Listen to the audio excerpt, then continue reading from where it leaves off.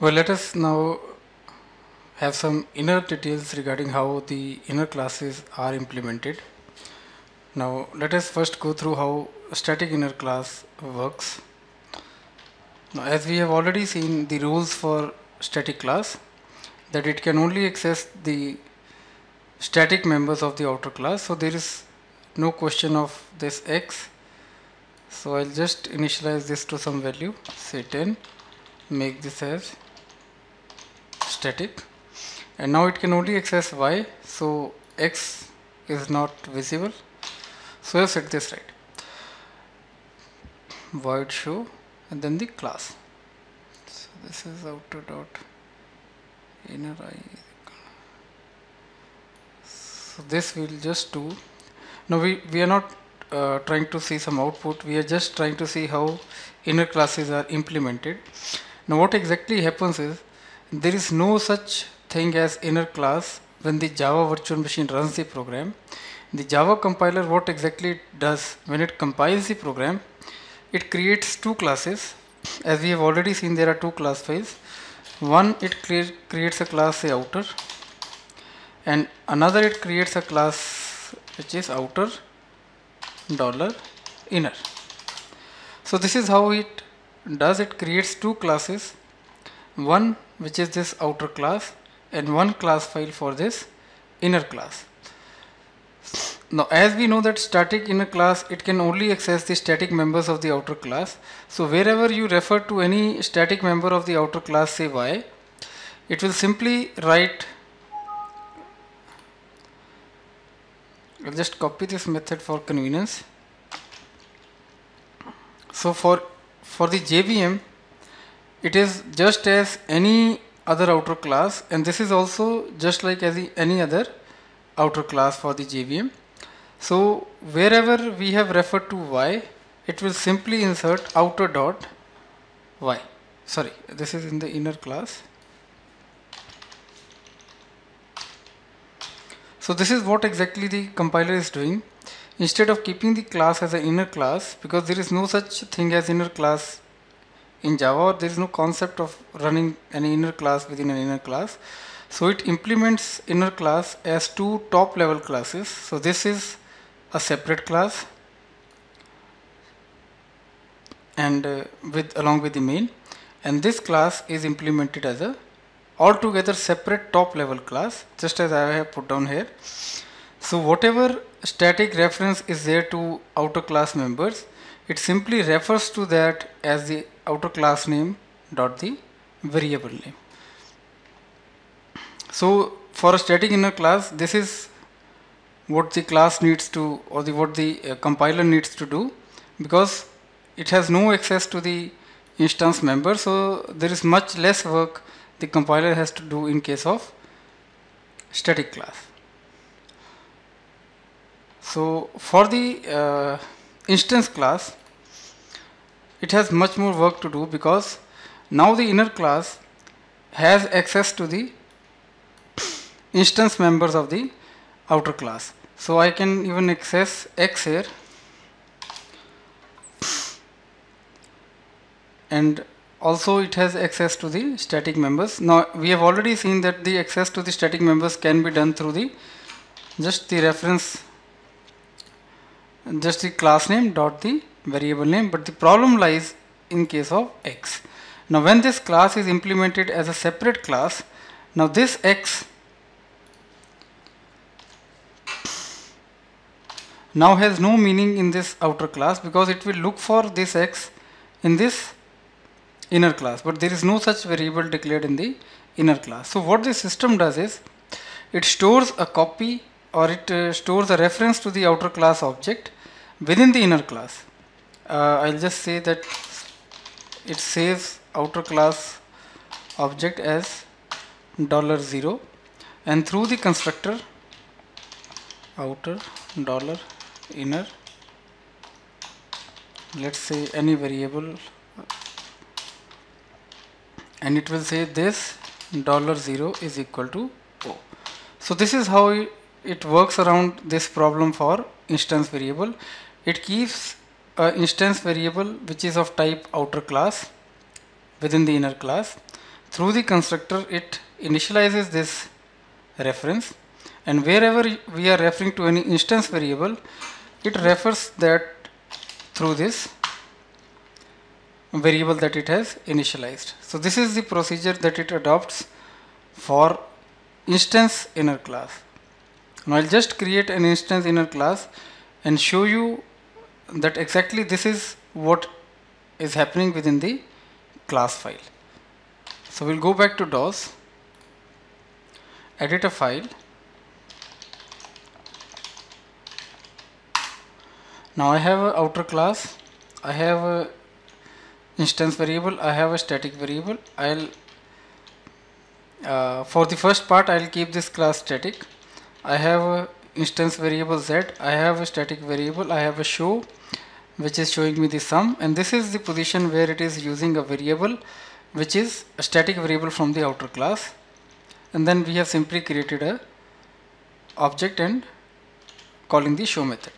But we are not interested in running the program. We are trying to see what implementation it is generated for this static inner class so I'll compile this file and I will see the class file for outer dollar inner. So we can go through to the method show. Now this is the method show and this is where we have the field y. You can see it has written for y outer dot y. So wherever you are referring to any field from the outer class instead of simply writing y the compiler has written outer dot y so now except for this there is not much in the class file for a uh, static inner class. Now let us see what is the case for a instance inner class. So again we just remove the static keyword and we'll try to access x here. So we have now uh, we are not trying to create any object. I will not create any object. Simply commenting the statements in main. So again I will compile the file. Oh there's some error. Oh sorry. Inner classes cannot have main now. So I'll have to remove this from the inner class and shift this to the outer class. So this is the main. It goes from the inner class to the outer class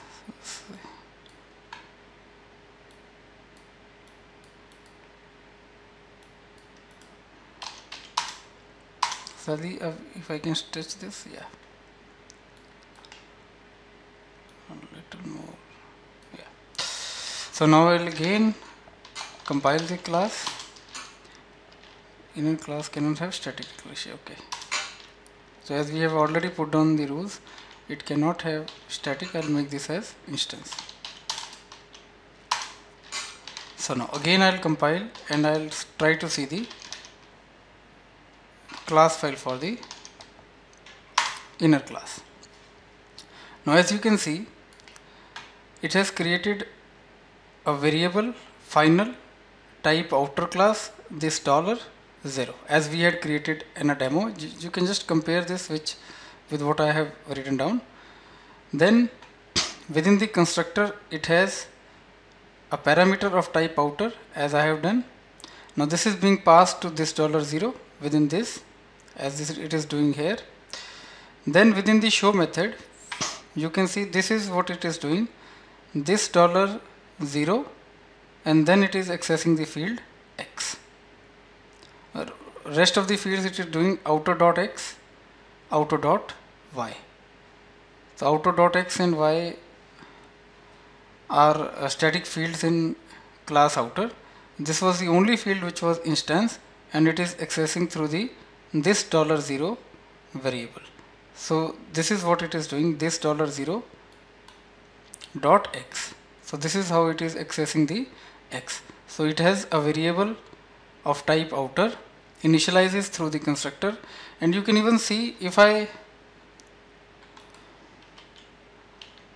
if I do some trick here I create a constructor in the inner class say with a variable int and do nothing to this just uh, for a, uh, to see a difference what it makes to the constructor that the system creates. Now again I compile this again see the class file now you can see the, the constructor again contains the outer class reference and the int that we have now created within the constructor. So whatever parameters you pass to the constructor, in addition to that, the system maintains a reference to the outer class object. So this will always be there within the inner class constructor in addition to whatever parameter that we are passing. So this is the procedure that that the system really adopts for running a inner instance class. So there is a reference to the outer class object initialized through the constructor and then wherever you are using the instance variable of outer class it is doing so through this reference variable this dollar zero now another thing we'll uh, see which is I'll just put this off now let us say there is a method show in outer class.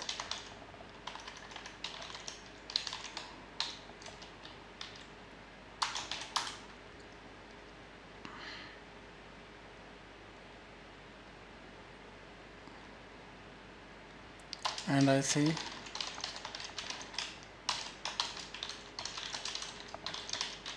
in show of outer and have uh, and I have a show I'll just remove this static and we have a show which is within the inner class so there is a show in the inner class there is a show in the outer class and I'll have a method say show one which calls both of them so here if I write show, this refers to the show of the inner class.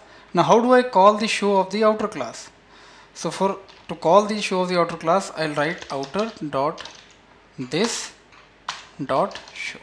So this is the procedure you can call any clashing method of any level outer class. You can simply write the name of the class dot this dot show. Earlier what we used to do, we used to write dollar 0 for the immediate dollar 1 for a level above but since this wasn't very suiting to the coding pattern. So now we have shifted to outer dot this dot show. So let me run this. I create an object of the inner class. First I create an object of outer class. I can directly even create here itself. New outer dot new inner and then I dot show one. So this should give me an output which is show of inner plus this entire sum.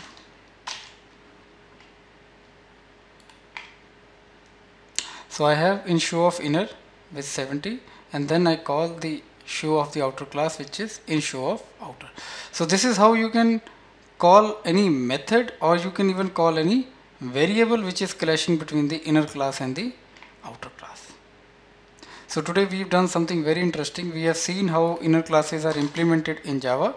We have declared that every class this is uh, created into a top level class by the uh, compiler and uh, to access the variables, we have seen the procedure that in case of static variables, simply the class name dot variable name does the trick.